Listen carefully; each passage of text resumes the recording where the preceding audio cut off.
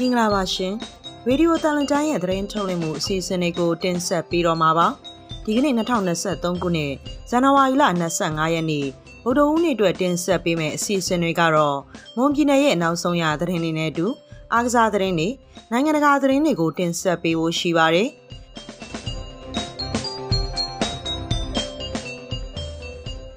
ရေဒီယိုတန်လွန်တိုင်းအစီအစဉ်တွေကိုအပတ်စဉ်တနင်္လာနေ့ကနေစနေနေ့ထိ မြန်မာစံတော်ချိန်ည9:00နာရီမှာ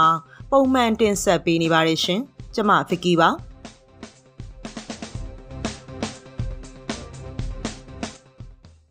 ရေဒီယိုတလန်တိုင်းရဲ့ဒီကနေ့ညပိုင်းထုတ်လွှင့်မှုမှာတော့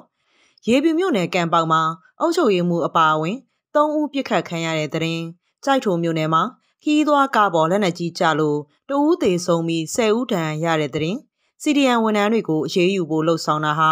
လူအခွင့်အရေးချိုးဖောက်မှုဖြစ်တယ်လို့တုံ့ပြန်ပြောလိုက်တဲ့သတင်းသတင်းပေးပို့ချက်မှာတော့မွန်ပြည်သစ်ပါတီထိန်းချုပ်ဒေသအထိစစ်မျက်နှာဖြန့်ကျက်လာတဲ့အကြောင်းကိုတင်ဆက်ပေးပါမယ်။ဒီသတင်းတွေနဲ့အတူအားကစားသတင်းနဲ့နိုင်ငံတကာသတင်းတွေကိုပါဒီကနေ့ညပိုင်းမှာနားတော်တာဆင်ရမှာပါ။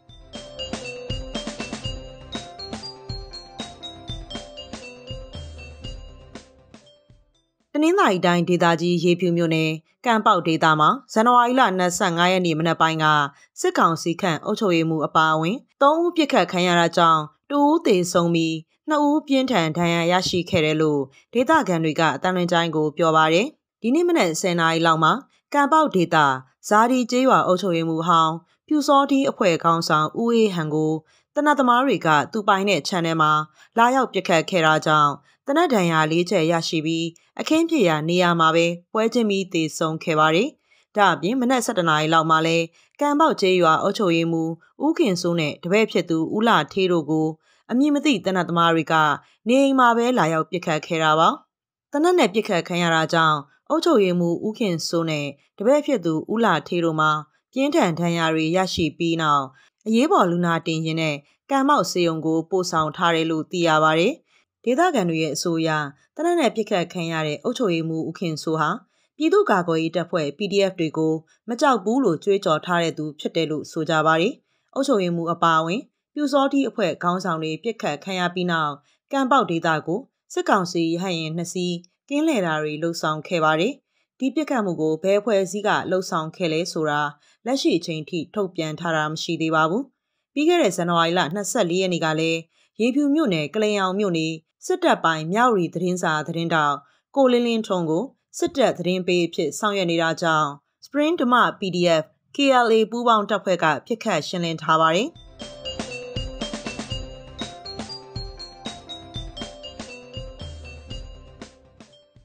မွန်ပြည်နယ်ကြိုက်ထုံမြို့နယ်မုတ်ပလင်လန်းစုံစစ်စေးဂိတ်အနီးမှာဇန်နဝါရီလ25ရက်နေ့နေ့လယ်ပိုင်းကခီးသွွားကားပေါ်လက်နက်ကြီးကြားရောက်ပောက်ကွဲတာကြောင့်တဦးသေဆုံးပြီး10ဦးဒဏ်ရာရရှိခဲ့တယ်လို့ဒေသခံတွေကတန်လွင်ကျိုင်းကိုပြောပါရယ်ဒီနေ့နေ့လယ်12နာရီလောက်ကမုတ်ပလင်လန်းစုံစစ်စေးဂိတ်အနီးစစ်စေးခံမှုစောင့်နေတဲ့ခီးသွွားကားပေါ်လက်နက်ကြီးကြားရောက်ပောက်ကွဲခဲ့တာပါအဲ့ဒီလက်နက်ကြီးကြီး40မမဟာစစ်ကောင်စီစစ်စေးဂိတ်အတွင်းရဲနယ်စစ်သားတွေစကားများရာကနေ တပ်သားတဦးကမိုးပေါ်ထောင်ပစ်ခတ်ရာကနေဂိတ်နီးတစ်ဖလုံးအကွာမှာရှိတဲ့ခီးသွွားကပေါ်ကြောက်ရောက်ပောက်ကွဲခဲ့တာဖြစ်ပါတယ်။ခီးသွွားကပေါ်လက်နက်ကြီးကြီးကြောက်ရောက်ပောက်ကွဲတာကြောင့်အမျိုးသားတဦးသေဆုံးခဲ့သလိုကားပေါ်ပါလာတဲ့အမျိုးသားမျိုးသမီး9ဦးဒဏ်ရာရရှိခဲ့တာပါ။လက်နက်ကြီးကြီးကြောင့်ထိခိုက်သေးဆုံးခဲ့တဲ့ခီးသွွားပြည်သူတွေကိုတော့ကြိုက်ထုံမြို့နယ်စေယုံကိုပို့ဆောင်ထားတယ်လို့သိရပါတယ်။ ကြိုက်ထုံမြို့နယ်ထဲမှာတော့စစ်ကောင်စီတပ်ရင်းတွေကနေလက်နက်ကြီးနေစဉ်နဲ့အမျှပစ်ခတ်နေတာကြောင့်ဒေသခံ3800ကျော်နေရက်စွန့်ခွာထွက်ပြေးနေရတယ်လို့ကရင်မျိုးသားစီယုံ KNU တပ်မဟာတဲ့တထုံခရိုင်ကထုတ်ပြန်ထားပါတယ်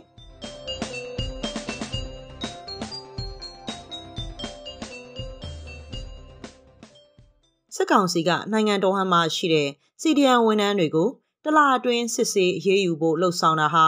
လူ့အခွင့်အရေးကိုပြောင်ပြောင်တင်းတင်းချိုးဖောက်တာဖြစ်တယ်လို့ CDM ဝန်ထမ်းတွေကတုံ့ပြန်လိုက်ပါတယ်။ဒီသတင်းအပြည့်စုံကိုချီလီကတင်ဆက်ပေးထားပါတယ်ရှင်။စစ်ကောင်စီဟာတိုင်းဒေသကြီးနဲ့ပြည်내အသီးသီးက CDM ဝန်ထမ်းတွေကိုအရေးယူဖို့အတွက်စစ်တပ်အပါအဝင်စစ်ကောင်စီဌာနဆိုင်ရာဝန်ထမ်းတွေပါဝင်တဲ့ CDM စစ်ဆေးရေးအဖွဲ့တွေကိုဖွဲ့စည်းထားတာဖြစ်ပါတယ်။ အဲ့ဒီ CDM စစ်စင်ရေးအဖွဲ့တွေဟာပုဂ္ဂလိကစေယုံစေးကန်းနဲ့စာတင်ကျောင်းတွေမှာ CDM ခန့်ထားခြင်းရှိမရှိစစ်ဆေးဖို့နဲ့ CDM တွေခန့်ထားပါကချိတ်ပိတ်တာလုပ်ဖို့နဲ့အရေးယူဆောင်ရွက်မှုတွေကိုတလအတွင်းပြန်လည်အစီရင်ခံဖို့ညွှန်ကြားထားတာပါအကြမ်းမဖက်အာဏာဖီဆန်ရေးလှုပ်ရှားမှု CDN အနေနဲ့ရက်တည်နေတဲ့ဝန်ထမ်းတွေကိုစစ်ကောင်စီကအရေးယူဖို့လှုံ့ဆော်တာဟာလူ့ခွင့်ရေးချိုးဖောက်တာဖြစ်ပြီးအောက်တန်းကျတဲ့လုပ်ရဖြစ်တယ်လို့ CDN ဝန်ထမ်းတဦးကတုံ့ပြန်လိုက်ပါတယ် စကားသားကတော့ ဒီလိုပါပဲ သူကတော့ မျိုးစုံ ဒုက္ခပေးနေမှာပေါ့ အခုကကြားတဲ့ခါကျတော့ ကျွန်တော်တို့ မရှိဘဲနဲ့ သူတို့အထဲမှာ အလုံးမဖြစ်ကြလို့ပေါ့အလုံးမဖြစ်လို့ အခုချိန်ဒီဒီ CDN တွေကို အခုချိန်ဒီအဲ့ဒီ မျိုးစုံပေါ့ အပြင်မှာလောက်ကန်စားတော့လို့ မရအောင် ဒုက္ခလိုက်ပေးနေတော့မရှိသေးတယ် အဲ့ဒါတွေကတော့ လူအခွင့်အရေး ချိုးဖောက်တာပဲ လူအခွင့်အရေး ချိုးဖောက်တာပေါ့ ကျွန်တော်တို့ တတ်ထားတဲ့ပညာနဲ့ ကျွန်တော်တို့ အပြင်မှာလှုပ်ရှားခြင်းနဲ့စားမယ်လှုပ်ရှားခြင်းမှာလည်းလှုပ်ရှားမှာပေါ့ ဒါ ကျွန်တော်တို့ကိစ္စ ဖြစ်သွားပြီလေ သူတို့လည်းဘာမှမမဆိုင်တော့ဘူး ဆိုတော့ သူတို့အဲ့ဒီဟာရဲ့ အပြင်ဘက်ထိ လိုက်ပြီးတော့ဒုက္ခပေးတယ်ဆိုတာကအကွာအရက်စကားဆက်ဆက်ပြောရရင်ရန်ညူးကြီးဖြစ်နေတာပါဘာမှမဟုတ်ပဲနဲ့တောင်မှဒီဝန်ထမ်းစီဒီယန်လေးဒီဘာမှမလုပ်နိုင်တဲ့လူတွေလောက်တောင်မှသူတို့ကအဲ့ဒါကြီးကိုတော့ရန်ညူးတကြီးနဲ့တခါတည်းလိုက်လုံနေတာမျိုးကတော့ဗျာအမှန်တိုင်းပြောရင်ဟိုဟိုမလုပ်သိလာတော့ဘူးလေဒါပေမဲ့သူတို့လုပ်တဲ့နဲ့မလုပ်တဲ့နဲ့သူတို့ဘယ်တော့မှစဉ်းစားတဲ့လူတွေမှမဟုတ်ပဲသူတို့ကဟိုရက်ဆက်တာမဟုတ်ဘူးအကိုရအောက်တန်းကြတယ်ရုံမာတယ်တောက်ကျစ်အောက်တန်းကြတယ် ဒါအပြင်စစ်ကောင်စီကသူတို့ကိုလက်မခံတဲ့စီဒီအန်ဝန်ထမ်းတွေကိုအရေးယူဖို့လှုံ့ဆော်လာတာဟာလက်ရှိနန်းစီဒီအန်ဝန်ထမ်းတွေနဲ့စစ်ကောင်စီရဲ့ဌာနဆိုင်ရာရန်တရားကိုအပြည့်အဝမလဲပတ်နိုင်တာကြောင့်ဖြစ်နိုင်တယ်လို့စီဒီအန်ဝန်ထမ်းတွေကိုသူတို့အာဏာရှိတဲ့ကာလအတွင်းနောင်တရအောင်လှုံ့ဆော်နေတာလည်းဖြစ်နိုင်တယ်လို့ဆိုပါတယ်စီဒီအန်ဝန်ထမ်းတဦးကလည်းစစ်ကောင်စီကအရေးယူဖို့လှုံ့ဆော်လာတာဟာစီဒီအန်ဝန်ထမ်းတွေဘလို့မှရက်တီလို့မရအောင်လှုံ့ဆော်နေတာဖြစ်တာကြောင့်စစ်ကောင်စီအမြင့်ပြတ်ဖို့လိုအပ်တယ်လို့အဆုံးထိတော်လှန်သွားမယ်လို့ပြောပါတယ် ကိုကတော့အရေးကြီးကိုကတော့စပြီးတော့ပြင်ဆင်ပြီးပေါ့နော်ဘယ်လိုပြောမလဲအဖွဲ့ဖွဲ့စစ်နေခုကဘယ်လိုမှရည်တည်လို့မရအောင်ပေါ့နော်လောက်စားလို့မရအောင်သူတို့မျိုးမျိုးမျိုးနဲ့နှိမ့်ဆက်တယ်ပေါ့နော်ဟိုအခုတည်းကလည်းကြီးရမ်းတာဆောင်းနေတော့လေအခုဆိုအခုကြည့်ရအကောင်ဖမ်းမင်းဟေးကိုရှောင်းရတဲ့ဘဝတွေအများနဲ့ကျမတို့ကအထောက်ကျင်ထားတဲ့သဘောပေါ့နော်ဒါမှလောက်စားလို့မဖြစ်ဘူးရှိရဟာကိုထိုင်စားမယ်ဒီနေ့မှမောင်းတော့ထိပ်ပြီးရုံးတက်နေရတာပေါ့နော်ရုံးတက်နေရတဲ့တော့ဒါကဒီ အမေတရားမှလည်းဖြစ်နေကျွန်တော်တို့ကလည်းနိုင်ငံလောက်တော့အဆုံးဒီနဲ့သွားမယ်အားပြပြင်းတဲ့ဆန္ဒနဲ့ပေါ့နော်ဒါကသူတို့တတ်နိုင်တဲ့နည်းတော့မှန်မှာပေါ့နော်ခုပြန်နေရတဲ့သဘောပါပဲ ဒါအပြင်စစ်ကောင်စီရဲ့ပေါက်ကြားခဲ့တဲ့လျှို့ဝှက်ညွန်ကြားစာအရအမည်ပြက်စည်ရင်သွင်းခံထားရတဲ့ CDN ဝန်ထမ်းတွေကိုပြည်ပထွက်ခွာခွင့်မရှိစေရေးပြစ်မှတ်ထားစောင့်ကြည့်ဖို့နဲ့ပြည်ပထွက်ခွာခွင့်တားမြစ်ခံထားရတဲ့ CDN ဝန်ထမ်းတွေကိုလည်းအပတ်စဉ်စည်ရင်ပြုစုထားဖို့ညွှန်ကြားထားတာတွေလည်းရှိနေတာဖြစ်ပါတယ်။တစ်ဖက်မှာတော့စစ်ကောင်စီဟာ CDN ဝန်ထမ်းတွေကိုဝန်ထမ်းအိမ်ယာတွေကနေအတင်းဖယ်ရှားခိုင်းတာဤမျိုးမျိုးနဲ့ချင်းချောက်တာဖိနှိပ်တာအပြင်မတရားဖမ်းဆီးပြီးပုံမှန်အမျိုးမျိုးတက်ကအရေးယူတာတွေကိုလည်းစက်တိုက်လှုပ်ဆောင်နေတာဖြစ်ပါတယ်။နိုင်ငံတော်မှာတော့စစ်တပ်အာဏာသိမ်းမှုကိုလက်မခံတာကြောင့်အကြမ်းမဖက်အာဏာဖီဆန်ရေးစီဒီအန်လှုပ်ရှားမှုမှာပါဝင်ထားတဲ့နိုင်ငံဝန်ထမ်းသိန်းနဲ့ချီရှိနေပါတယ်။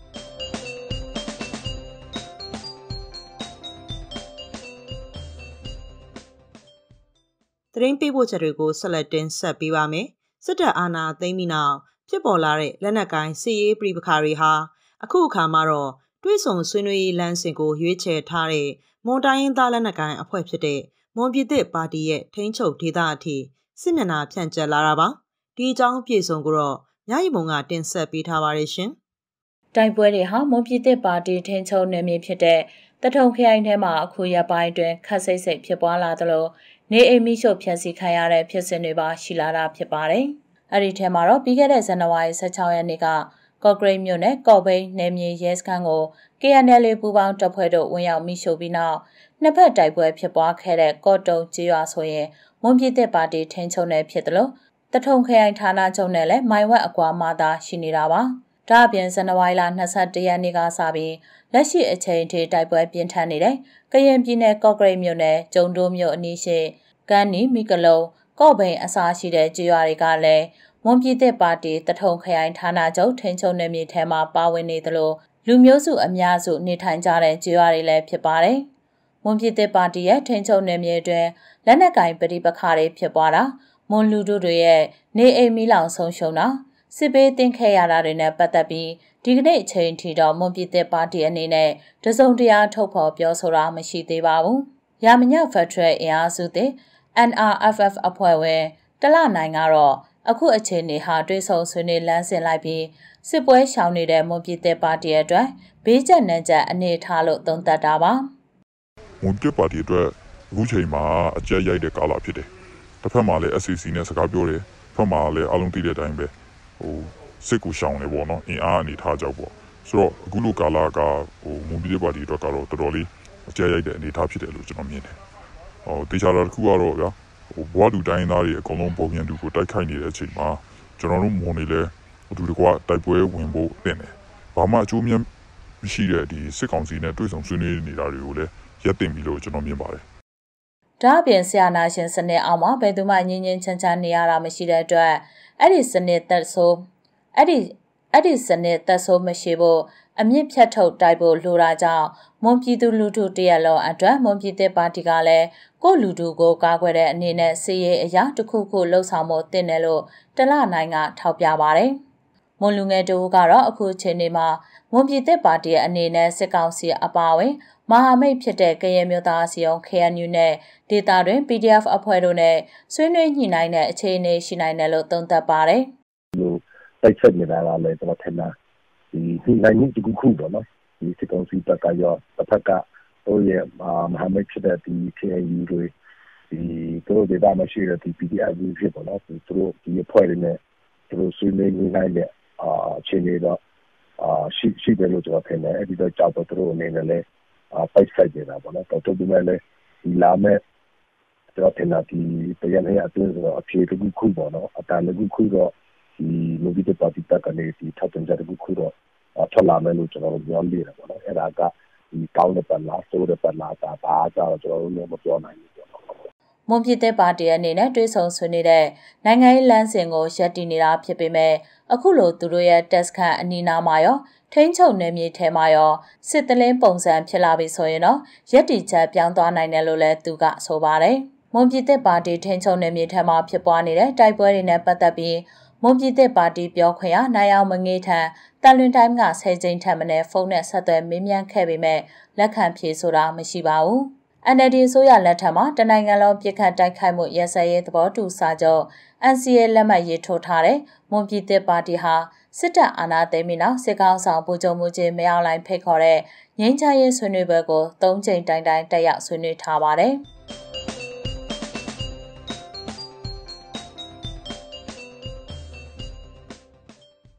အာနာသိန်းစစ်ကောင်စီဟာလာမယ့်ဖေဖော်ဝါရီလ၁ရက်နေ့မှာကာလုံးလို့ခေါ်တဲ့အမျိုးသားကာကွယ်ရေးနဲ့လုံခြုံရေးကောင်စီစီဝေးခေါ်ယူပြီးတိုင်းပြည်ရဲ့အာဏာအရရက်ကိုလွှဲပြောင်းပေးရတော့မှာဖြစ်ပါတယ်။ဒါကြောင့်တက်ရှိထင်ရှားရှိနေတဲ့သမရဦးဝင်းမြင့်မပါတဲ့ကာလုံအစည်းအဝေးဟာ2008ဖွဲ့စည်းပုံအခြေခံဥပဒေနဲ့ညီညွတ်ရဲ့လားကာလုံအစည်းအဝေးအပြီးမှာစစ်အုပ်စုအနေနဲ့ဘလို့အခင်းချင်းဖန်တီးလို့ရနိုင်ပါသလဲဒီအခြေအနေနဲ့ပတ်သက်ပြီးတရားလွတ်တော်ရှင်းနေတူကို အသစ်ကဆွတ်သည်မေးမြန်းထားပါတယ်အရင်ဆုံးဆက်အုပ်စုအနေနဲ့ကာလုံအစည်းအဝေးအပြီးမှာ2008ဖွဲ့စည်းပုံအရာဘလို့အခင်းချင်းတွေကိုဖန်တီးလို့ရနိုင်ပါသလဲဒီ2008ဖွဲ့စည်းပုံခြေခံဥပဒေပေါ့နော်အဲ့ဒီမှာအရေးပေါ်ကာလပြဋ္ဌာန်းချက်ဒီမှာတော့ဒါပုံမှန်419ရနိုင်ငံမှာအရေးပေါ်အခြေအနေကြာရောက်နေရင်နိုင်ငံတော်သမ္မတကနေမှဒါကကွေးဦးစီးချုပ်ကိုအရေးပေါ်ကာလအတွက် နိုင်ငံရဲ့အချုပ်အခြာအာဏာအလုံးကိုစီမံခန့်ခွဲဖို့အနှင်းပေးရမယ်ဆိုပြဋ္ဌာန်းချက်ပါတယ်အဲ့ဒါကလေတက်တန်းအနေနဲ့တစ်နှစ်ပေါ့အကယ်၍တစ်နှစ်နဲ့မှဒီနိုင်ငံမှာဖြစ်ပေါ်နေတဲ့အရေးပေါ်အခြေအနေကိုထိန်းသိမ်းနိုင်ဖို့မရှိဘူးနိုင်ငံကမတည်ငြိမ်နေဘူးဆိုရင်ဒါပုံမှန်425ရ6လတက်တန်းနှစ်ကြိမ်တိုးခွင့်ရှိတယ်အဲ့တော့ဒီဆိုကြပါစို့စုစုပေါင်းဒီ NASA ကအနေနဲ့ တက်တန်းနှစ်နှစ်ပေါ့ဖေဖော်ဝါရီ1ရက်2021ကနေစပြီးတော့တက်တန်းနှစ်နှစ်နိုင်ငံရဲ့အချုပ်အခြာအာဏာအရရက်ကိုဒီရေးပေါ်ကာလအခြေအနေအတွင်းမှာဒါနိုင်ငံတော်သမ္မတစီကနေမှလွှဲပြောင်းပြီးတော့တို့ရယူပြီးဆွဲပိုင်ခွင့်ရှိတယ်သို့တော်လည်းပဲအဲ့သူ့ရဲ့တဒန်းနှစ်နှစ်ပဲရှိတဲ့အတွက်လာမယ့်2023ခုဖေဖော်ဝါရီ1ရက်နေ့မှာ NASA ကအဖွဲ့ရဲ့ဥက္ကဋ္ဌကနေမှ ဒီနှစ်နှစ်ကာလအတွင်းမှာ NASA ကအစိုးရဆောင်ရွက်ခဲ့တဲ့ဆောင်ရွက်ချက်ဒီပြီးတော့မှလက်ရှိဖြစ်ပေါ်နေတဲ့နိုင်ငံရဲ့အခြေအနေတွေဒါတွေနဲ့ပတ်သက်ပြီးတော့မှယာယီသမရဖြစ်တဲ့ဦးမြင့်ဆွေကိုအဲခေါ်ယူတဲ့ကာလုံအစည်းအဝေးမှာပဲသူကရှင်းလင်းတင်ပြပြီးအစီရင်ခံမှာပေါ့ပြီးတော့မှအဲကာလုံကိုပဲပြန်ပြီးတော့ဒီနိုင်ငံတော်ရဲ့အချုပ်အခြာအာဏာအရရက်ကို အနှင်းပြီးရအနှင်းပြီးတော့မှကာလုံကဒီဥပဒေပြုခွင့်အာဏာကိုကာလုံကာလုံကကျင့်သုံးမယ်ခုနအုပ်ချုပ်ရေးအာဏာကိုတော့ကာလုံကနေဖွဲ့စည်းပေးထားတဲ့တိုင်းဒေသကြီးခုနပြည်နယ်အစိုးရတွေကကျင့်သုံးမယ်တရားစီရင်ရေးအာဏာကိုတော့ဒီပြည်တော်သူတရားလွတ်တော်ချုပ်ကနေမှကျင့်သုံးရမယ်လို့ဒီလို2010ဖွဲ့စည်းပုံထဲမှာဒီတိုင်းပဲရေးထားပါတယ် နောက်တစ်ခုကတက်ရှိထင်ရှားရှိနေတဲ့တမရဦးဝင်းမြင့်မပါတဲ့ကာလုံအစည်းအဝေးဟာ2008ဖွဲ့စည်းပုံအခြေခံဥပဒေနဲ့ညီညွတ်ရဲ့လားအဲ့ဒါနဲ့ပတ်သက်ပြီးတော့အမှန်တကယ်ဆောင်ရွက်ရမှာက2008ဖွဲ့စည်းပုံအခြေခံဥပဒေအရဖွဲ့စည်းထားတဲ့ဒီဖွဲ့စည်းပုံအခြေခံဥပဒေဆိုင်ရာခုံရုံးတာပဲအဆုံးဖြတ်ပေးရမှာဖြစ်ပါတယ်အခုနကမူလစတင်ဒီအနာထိမ့်သိမ့်ပြီးတော့အနာကိုလွှဲပြောင်းရယူခဲ့တာဒီ နိုင်ငံတော်သမ္မတဖြစ်တဲ့ဦးဝင်းမြင့်ကနေလွှဲပြောင်းပေးခဲ့တာမဟုတ်ဘူးဦးဝင်းမြင့်ကိုဖမ်းဆီးပြီးတော့မှထိမ့်သိမ်းထားပြီးတော့မှဦးမြင့်ဆွေဒုသမ္မတဦးမြင့်ဆွေကိုယာယီသမ္မတအဖြစ်မိမိတို့ဟိုသဘောဆန္ဒအတိုင်းတတ်မှတ်ပြီးတော့မှဦးမြင့်ဆွေကနေမှလွှဲပြောင်းပေးခဲ့တယ်ဆိုတာဒီဒီ2008ဖွဲ့စည်းပုံအခြေခံဥပဒေပုံမှန်416ပါပြဋ္ဌာန်းချက်နဲ့ဥပဒေနဲ့ညီမညီနောက်တစ်ခါဒီ နိုင်ငံတော်သမ္မတကိုဖမ်းဆီးပြီးတော့အရေးယူထားတာဒီဥပဒေနဲ့ညီညွတ်ခြင်းရှိမရှိအခုဆက်လက်ပြီးတော့မှဒီခေါ်ယူကျင်းပမယ်2021ဖေဖော်ဝါရီ1ရက်နေ့မှာတက်စီတက်စီတင်ပြရှိနေတဲ့သမ္မတဦးဝင်းမြင့်မပါဘဲနဲ့ကာလုံအစည်းအဝေးခေါ်ယူခြင်းခုနမောင်ခိုင်တာမပါဘဲနဲ့ကာလုံအစည်းအဝေးခေါ်ယူခြင်းတွေဒီဥပဒေနဲ့ညီမညီဒီအချက်တွေက ဒီဖွဲ့စည်းပုံအခြေခံဥပဒေမှာပါတဲ့အကြောင်းအရာတွေအပေါ်မှာဆုံးဖြတ်ပြုရမှာဖြစ်တော့ဒါပုဂ္ဂိုလ်တဦးတယောက်ကနေမှတ်ချက်ပြုရင်လွဲမနိုင်တယ်အဲ့ဒါကဒီဖွဲ့စည်းပုံအခြေခံဥပဒေဆိုင်ရာခုံရုံးကနေပြီးတော့မှဒါခုံရုံးအဖွဲ့တစ်ဖွဲ့လုံးကသဘောတူညီစွာဆုံးဖြတ်ပြီးတော့ဒါဆုံးဖြတ်မှသာလျှင်ကျွန်တော်တိတိကျကျပြောနိုင်မှာဖြစ်ပါတယ် ဒါကြောင့်ကျွန်တော်အနေနဲ့ကတော့တဦးတယောက်တည်းအနေနဲ့တော့ဒါကိုဟုတ်လားမှတ်ချက်ပြုဖို့ဝန်လေးပါတယ်ဒါနဲ့ပတ်သက်လို့တော့ကျွန်တော်မှတ်ချက်မပေးပါဘူးနောက်ဆုံးတစ်ခုအနေနဲ့ဖွဲ့စည်းပုံအခြေခံဥပဒေပုံမှန်425ရဲ့တာမန်အဖြစ်အပေါ်မှာရောဘယ်လိုမြင်ပါသလဲဒီကိစ္စရက်ကရောခြေဥခေါ်ရုံတင်ဖို့မလိုဘူးလားဟိုပြဋ္ဌာန်းထားတဲ့အခါမှာ425မှာပါပါတယ်စကားလုံး clause လေးတစ်ခုပါတယ်စကားစုလေးတစ်ခုပါတယ် တာမန်အခြေအနေတွင်သူကပြောထားတာဟုတ်တာမန်အခြေအနေတွင်သက်တမ်းတိုးမယ်ဟိဆိုရင်ဆိုကြပါလို့ဒီနောက်ထပ်6လ6လတစ်နှစ်တိုးခွင့်ရှိတယ်တာမန်အခြေအနေလို့ပြောတာဟုတ်အဲ့တော့အခုလက်ရှိဖြစ်ပေါ်နေတာဒီတာမန်အခြေအနေလို့သတ်မှတ်ရင်တော့ဆက်လက်ပြီးတော့ဒါနဆက်ကကဆက်လက်တက်တန်းတိုးမြင့်မှုဥရိယခွင့်ပြုမထားဘူးသို့တော့ကာလုံကနေမှ ကာလုံစည်းဝေးကနေမှလက်ရှိဖြစ်ပေါ်နေသောအခြေအနေဒီတာမန်အခြေအနေမဟုတ်ဘူးเนาะအရေးကြီးတဲ့အခြေအနေအာအရေးပေါ်အခြေအနေစသည်အပြင်နိုင်ငံရဲ့လက်ရှိရှိနေတဲ့မြေပြင်အခြေအနေတွေပေါ်မှာသူတို့ကဆုံးဖြတ်ပြီးတော့ဒါဒီတာမန်အခြေအနေမဟုတ်ဘူးအရေးကြီးအခြေအနေဖြစ်တယ်အရေးပေါ်အခြေအနေဖြစ်တယ်အဲ့လိုသတ်မှတ်မယ်ဟိဆိုရင်တော့ကာလုံရဲ့အဆုံးဖြတ်နဲ့သူကတက်တန်းနတ်ဆက်ကရဲ့တက်တန်းကိုလည်းဆက်ပြီးတိုးမြင့်နိုင်တဲ့ အနေအထားရှိတယ်လို့ခုနကာလုံကပဲစီမံခန့်ခွဲဆောင်ရွက်ပိုင်ခွင့်လည်းရှိတယ်သို့မဟုတ်ကာလုံကနေမှကြားပြအစိုးရတရားဖွဲ့စည်းပြီးတော့မှဒါအချုပ်ချာအာဏာကိုကျင့်သုံးဖို့စီမံမယ်ဟိဆိုလဲစီမံနိုင်တဲ့အနေအထားရှိပါတယ်ဒါကတော့ကျွန်တော်တို့ကဟိုအလားအလာကိုကြိုတင်ခံမရတဲ့အနေအထားပါပဲဟိုတကယ်တမ်းဘာလုပ်မယ်ဆိုတာကတော့ဘာဖြစ်လာမလဲဆိုတာတော့ ဒီဖေဖော်ဝါရီတရက်နေ့ကြာမှာပဲကျွန်တော်တိကျသိရမှာဖြစ်ပါတယ်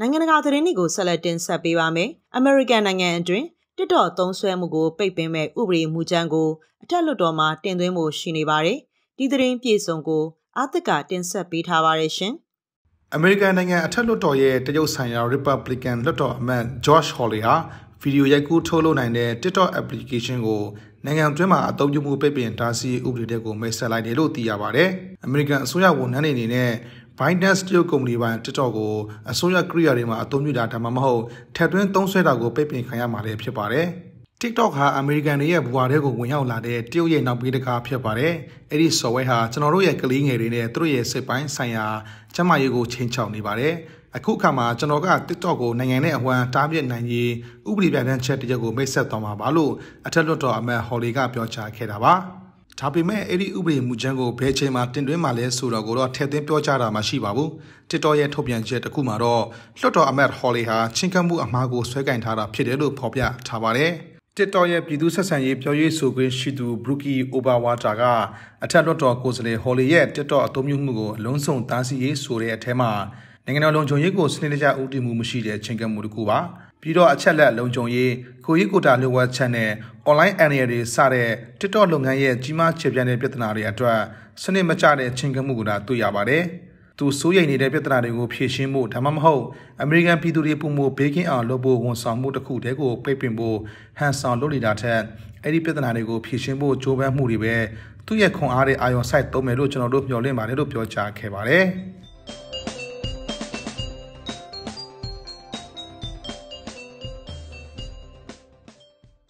တခါအားကစားသတင်းအနေနဲ့ကတော့ချယ်ဆီတိုက်စစ်ကစားသမားဟာဘတ်ကိုဘိုင်ယန်တင်းခေါ်ယူဖို့စီစဉ်နေတဲ့အကြောင်းကိုတင်ဆက်ပေးပါမယ်ခင်ဗျာဂျာမန်ဘွန်ဒက်လီဂါနာမည်ကြီးကလပ်တဲ့ဘိုင်ယန်မြူးနဲ့တင်းဟာချယ်ဆီတင်းရဲ့တိုက်စစ်ကစားသမားဟာဘတ်ကိုခေါ်ယူဖို့စီစဉ်နေတယ်လို့ဂျာမန်သတင်းတွေမှာဖော်ပြနေကြပါတယ်အသက်23နှစ်ရဲ့ဂျာမန်တိုက်စစ်ကစားသမားဟာဘတ်ကိုဘိုင်ယန်မြူးနဲ့တင်းကလာမယ့်နွေရာသီပြောင်းရွှေ့ဈေးကွက်မှာခေါ်ယူသွားဖို့စီစဉ်ထားတာဖြစ်ပါတယ်။ ဘိုင်ယန်မြူးနစ်အတင်းဟာဟာဘတ်အပြောင်းရှိအတွက်ကနဦးပေါင်တန်း60နဲ့ကန်လှန်တွားဖို့စီစဉ်ထားတာဖြစ်ပါတယ်။ဟာဘတ်ဟာ2022ကမ္ဘာ့ဖလားပြိုင်ပွဲမှာဂျာမန်လက်ရည်စင်တင်းနယ်တူပွဲထွက်ကစားခဲ့တယ်လို့ DRD ပရီးမီးယားလိမှာလည်းချယ်ဆီတင်းနဲ့ပုံမှန်ပွဲထွက်ခွင့်ရနေတာဖြစ်ပါတယ်။ဟာဘတ်ဟာပြီးခဲ့တဲ့2020ဘောလုံးရာဒီမှာလီဗာပူးစင်တင်းကနေချယ်ဆီတင်းထံကိုပြောင်းရွှေ့လာခဲ့တာဖြစ်ပြီးတော့အသင်းနဲ့အတူပွဲပေါင်း119ပွဲကစားပြီးထားသလို တွင်းကို29ဂိုးထိတွင်းယူပေးထားပါတယ်။ဒါပေမဲ့ဟာဘက်ရဲ့ချယ်ဆီတင်းကတော့ DRD ပရီးမီးယားလိမှာရက်လက်ဆိုးတွေကြုံတွေ့နေရတာကြောင့်အဆင့်30နေရာမှာရပ်တည်နေတာဖြစ်ပါတယ်။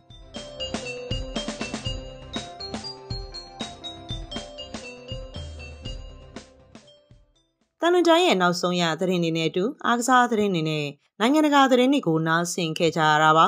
ရေဒီယိုတန်လွန်တိုင်းရဲ့သတင်းထုတ်လွှင့်မှုတွေကိုတော့အပတ်စဉ်တနင်္လာနေ့ကနေစနေနေ့အထိ မြန်မာစံတော်ချိန်ည9:00နာရီမှာနားတော်တာဆင်နိုင်ပါတယ်။တလွန်တိုင်းရဲ့သတင်းထုတ်လွှင့်မှုတွေကိုတော့ Facebook, Telegram, Instagram, Twitter နဲ့တလွန်တိုင်းရဲ့ website စာမျက်နှာနဲ့တလွန်တိုင်း application မှာလည်းဝင်ရောက်ဖတ်ရှုနိုင်ပါတယ်။